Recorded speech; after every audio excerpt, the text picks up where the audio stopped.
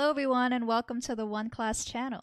My name is Donna Riel and I'm a recent master's graduate from the Materials Science program from the University of Ontario Institute of Technology, also known as Ontario Tech University. I also took my Bachelor's of Science at this institution as well in the Pharmaceutical Chemistry program. So today we're going to go over some commonly asked questions in chemistry at the high school, college, and university level. So if you need any help with homework or with tutoring, then check out the links in the description below. So I'm just going to get started on our set of questions for today's session.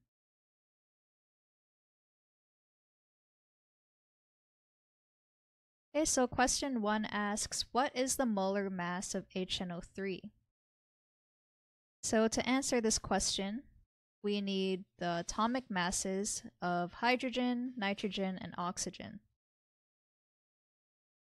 So the molar mass of HNO3 is just the molar mass of hydrogen plus the molar mass of nitrogen plus 3 times the molar mass of oxygen, since there are 3 oxygen atoms in the compound.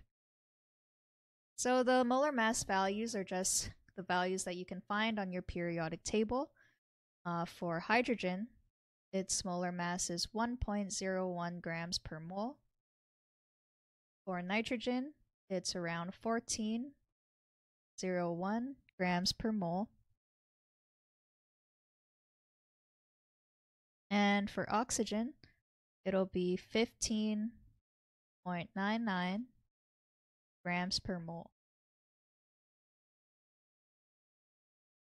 Okay, so now we're just going to add all these values up and we'll get a final molar mass of 63.02 grams per mole. Okay, so let's see what the Janine tutor said. Uh, they said step one is to determine the atomic mass of each element in the compound using the periodic table. So they just wrote out all the atomic masses of hydrogen, nitrogen, and oxygen.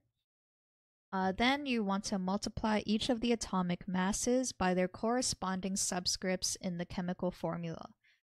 Here there are, well, there should, I guess they mean one hydrogen atom, one nitrogen atom, and uh, three oxygen atoms. So they just uh, messed up a bit there.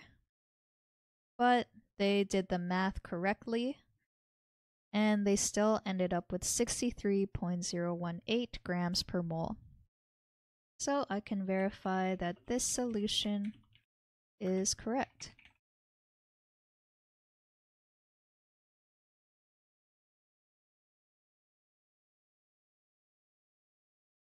Okay, so moving